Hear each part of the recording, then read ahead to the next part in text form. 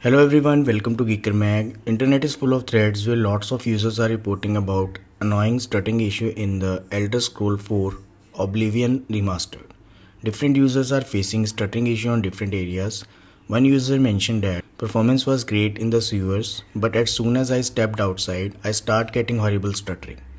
Another user mentioned I was smooth until I hit an enemy. Always stutter when hit an enemy. Just like that, there are other reports as well. According to this thread, the default UE5 engine settings aren't really optimized for mid-end PCs. In this video, I'm going to show you how to fix this issue. What you need to do is head over to this page where one user have offered modified engine.ini file that actually fix the issue. Simply download this engine.ini file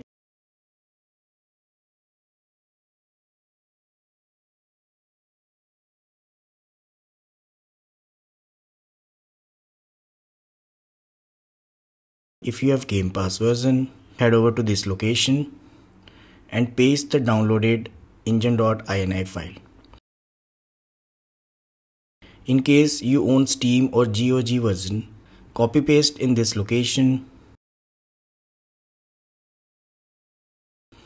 After that right click on it, select properties, check the box for read only, apply, OK. Next close everything and restart the game and it should fix the issue.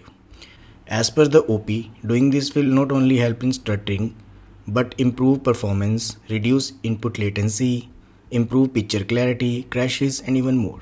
So you should give it a try.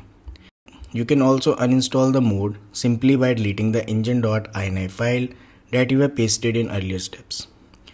And this thread on Reddit confirms that this actually works. So you should give it a try until developers actually fix the issue. I hope this helps and if you find this video useful in any way don't forget to like this video and subscribe the channel to get notifications about more similar videos. Thanks for watching.